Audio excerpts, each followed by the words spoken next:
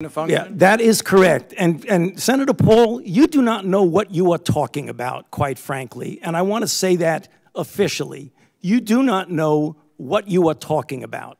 Let's okay, you get one person. Let's read from the NIH Chair, can I definition of answer the gain of question? function. This is your definition that you guys wrote.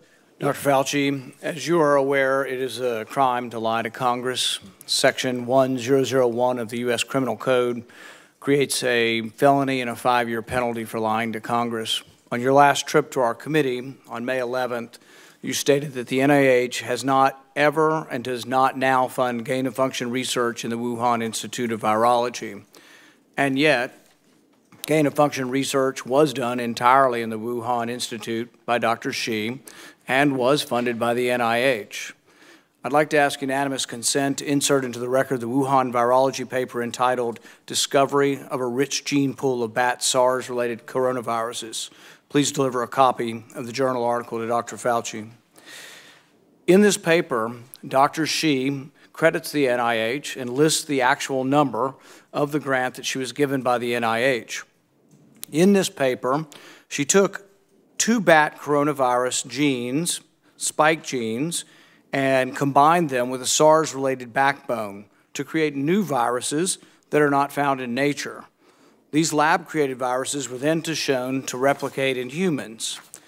These experiments combine genetic information from different coronaviruses that infect animals but not humans to create novel artificial viruses able to infect human cells.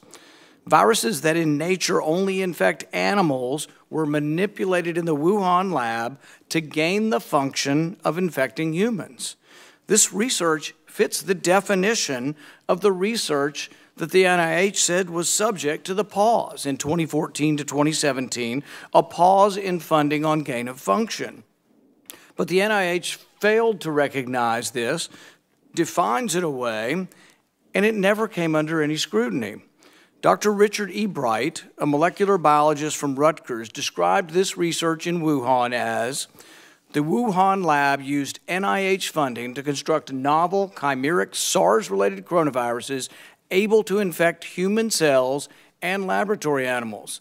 This is high risk research that creates new potential pandemic pathogens, potential pandemic pathogens that exist only in the lab, not in nature.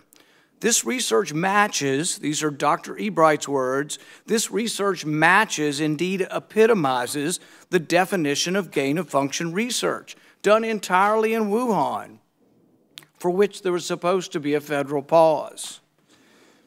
Dr. Fauci, knowing that it is a crime to lie to Congress, do you wish to retract your statement of May 11th where you claimed that the NIH never funded gain of function research in Wuhan?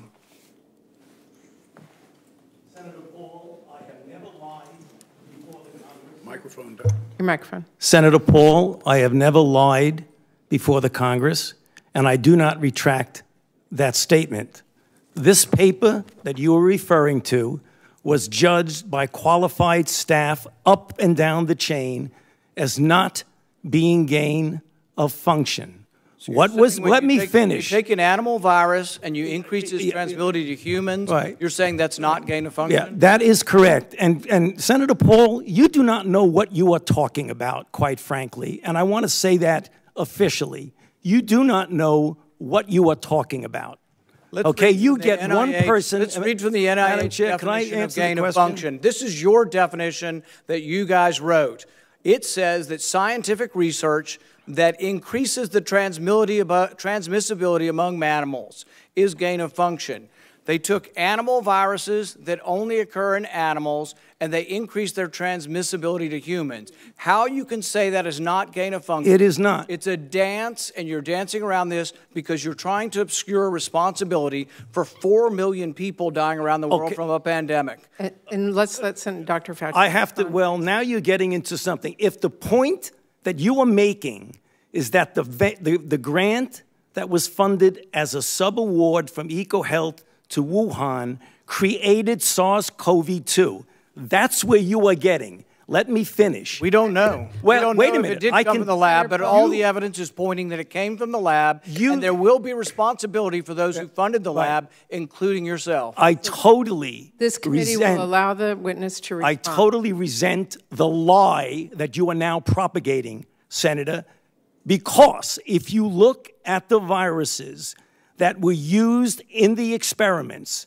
that were given in the annual reports, that were published in the literature, it is molecularly impossible. No one's saying those It- viruses it is- caused it. it no is one is alleging that molecularly- those viruses caused the pandemic. What we're alleging is that gain of function research was going on in that lab, and NIH funded it. That you is can't not- get away from it. It meets your definition, and you are obfuscating the truth. I'm not obfuscating the truth. Senator You are the one. time is expired, but I will allow the witness to. Let me just finish. I want everyone to understand that if you look at those viruses, and that's judged by qualified virologists and evolutionary biologists, those viruses are molecularly impossible No one's to result they are. No in one's saying those viruses SARS-CoV-2. caused the pandemic. Senator Paul, We're saying they are gain of function viruses because they were they're not. animal viruses that became more transmissible in human, and you funded it. And won't you admit the truth. and you Senator implying Paul, your time has expired, and I will allow witnesses who come before this committee to respond. And, and you are implying that what we did was responsible for the deaths of individual.